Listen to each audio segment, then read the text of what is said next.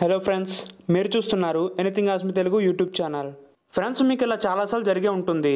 మనం ఎవరికైనా పర్సన్కి కాల్ చేద్దాం అనుకుంటే ఆ కాల్ వెంటనే కట్ అయిపోతుంది. ఇలా ఎందుకు జరుగుతుందో ఈ వీడియోలో మీకు క్లియర్గా చెప్తాను. ఇది అసలు పెద్ద ప్రాబ్లం ఏమీ కాదు. దీనికోసం మనం ఒక సిమ్ సెట్టింగ్ మార్చాల్సి ఉంటుంది.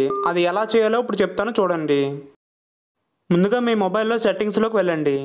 దానిలో మీకు SIM card and mobile networks కనిపిస్తుంది కదా దాన్ని ఓపెన్ చేయండి.